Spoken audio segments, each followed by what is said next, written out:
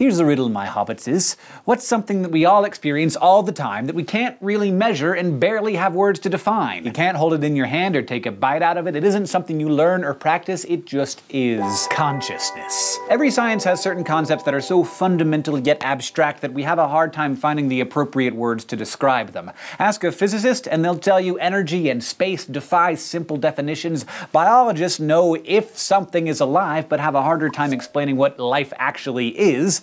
Ask a psychologist what consciousness is, and you'll get you'll get a slippery answer. For the purposes of this conversation, we're going to actually loosely define consciousness as our awareness of ourselves and our environment. It's this awareness that allows us to take in and organize information from many sources and senses at once. American psychologist William James thought of consciousness as a continuously moving, shifting, and unbroken stream, hence the term stream of consciousness. Others think of it as the brain's roving flashlight shining down an unbroken beam of light that highlights one thing then moves to the next. The point is your conscious experience is forever shifting. For example, right now, hopefully you're focused on the words coming out of my mouth, but with a little shift, you might, might wander to how you really should probably shower today, and your chair's kinda uncomfortable, and you suddenly have to pee. And can you believe what Bernice said?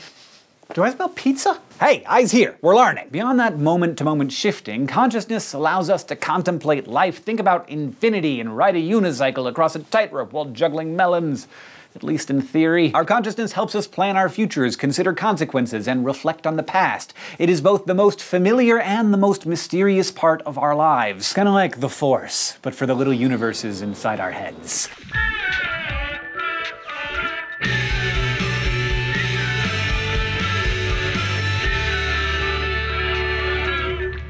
Throughout our daily lives, we flip back and forth between various states of consciousness, including waking, sleeping, and various altered states. These can occur spontaneously, like dreaming, or be physiologically sparked, like a drug-induced hallucination, or be triggered psychologically, through meditation or hypnosis, for example. We're gonna take the next three episodes to look closely at these different states of consciousness, but let's start with what it really means to be awake. For centuries, scientists learned what they could about the brain solely through clinical observation, and they learned a lot for sure. But with today's technology, we're actually able to see some of the structures and activity inside a living, working brain. Its electrical, metabolic, and magnetic signatures displayed on screens for our wonder and amusement. The field of cognitive neuroscience is the study of how brain activity is linked with our mental processes, including thinking, perception, memory, and language. Like other kinds of neuroscience, it uses neuroimaging technologies to consider links between specific brain states and conscious experiences. And there's more than one way to scan a brain. Structural imaging shows the brain's anatomy and is useful in identifying large-scale tumors, diseases, and injuries.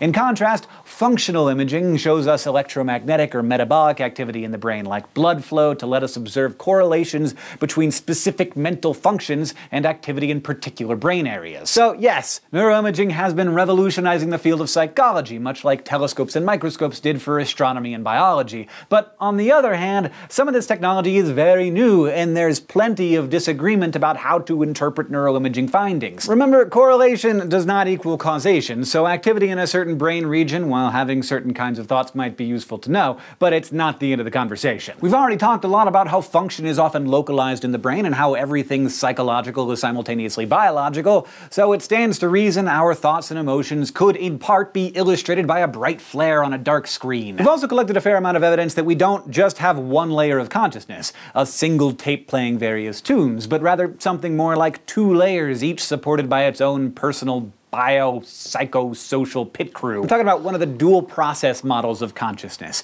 The idea that our conscious, deliberate mind could be saying, look, a squirrel, while our implicit, automatic mind is simultaneously sub-processing like a computer. Color, brown, tail, bushy, movement, climbing, distance, 20 meters, association, my sister had a squirrel phobia as a child, implicit bias, I think that squirrels are ruining America, all of which might weigh upon my behavior upon seeing the little guy. By some estimates, all your different senses are scooping up nearly 11 million million bits of information every second, and yet you consciously register only about 40 at a time. So how do we keep focused and filter out all that chatter to actually get stuff done? With selective attention, of course. Selective attention is how we focus our consciousness on one particular stimulus or group of stimuli, effectively tuning out the rest. Your consciousness is like a spotlight on a busy stage. There are other things going on around you that your automatic subprocessor brain is covertly registering, but for those moments when you shine your spot spotlight, most of the other stimuli fall away. Try it at home! Right now, you're consciously watching this lesson on consciousness. You probably don't notice the feel of your socks on your feet or the tongue that's inside your mouth, always filling up your mouth with tongue. But as soon as I mention it and the spotlight of your attention turns to them, you feel those socks on your feet and you're like, wow, it's weird that there's a tongue in my mouth. The classic auditory example of selective attention is the cocktail party effect. You could be in a room with 47 people jabbering away and yet be able to concentrate your hearing on one conversation, tuning out the rest of the voices and the background music. But if the couple next to you were to speak your name, suddenly suddenly your cognitive radar would light up and your attention would whip around to the sound of your name, probably trying to figure out if Bernice was talking behind your back again. Bernice! This roving spotlight of selective attention is pretty handy most of the time for spies and laypeople alike, but it can also be dangerous if you're being dumb and, say, texting and driving. When you shift your primary selective attention from driving to OMG lol lol lol lol you also unwittingly activate your selective inattention, which means that you failed to see that cyclist who you almost ran over, which would not only have ruined her life, but also yours. So don't text, and drive. In fact, when your full attention is directed elsewhere, you'd be astounded by the scope of obvious things you failed to notice. It's called inattentional blindness. You may have even already been subject to one of the most famous experiments of inattentional blindness, the invisible gorilla, or sometimes the moonwalking bear. Just Google either of those things if you want to be tested on your awareness, and then come back.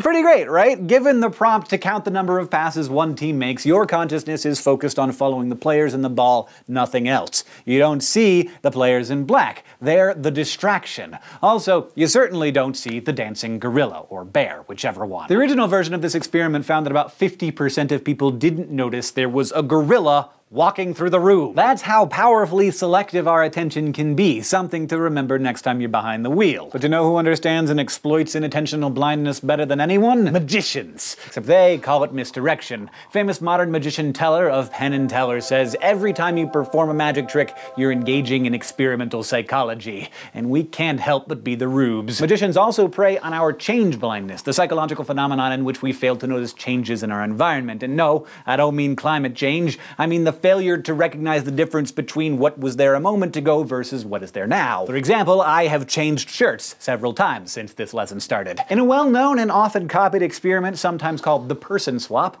an experimenter will stop someone in the park, ask for directions, and then during some staged interruption, the original experimenter will leave and be replaced with a totally different person.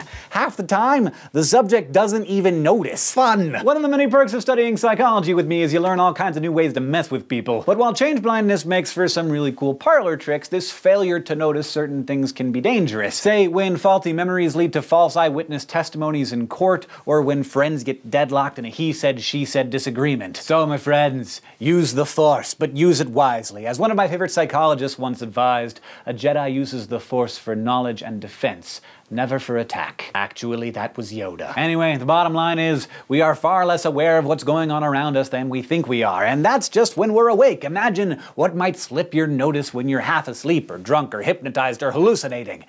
That's what we're going to talk about next time. Thanks for watching this episode of Crash Course. If you were selectively conscious of my words, you got introduced to our constant struggle to define consciousness, learned a little bit about neuroimaging and its developing role in psychological science, how our consciousness is split into two pieces, deliberate and automatic, and how the brain can be selectively attentive, selectively inattentive, and blind to changes in some surprisingly major ways. If you'd like to sponsor an episode of Crash Course Psychology, get a copy of one of our Rorschach prints, and even be animated into an upcoming episode, just go to subbable.com slash crash course and subscribe. This episode was written by Kathleen Yale, edited by Blake de Pastino, and our consultant is Dr. Ranjit Bhagwat. Our director and editor is Nicholas Jenkins. The script supervisor is Michael Aranda, who is also our sound designer and our graphics team is Thought Cafe.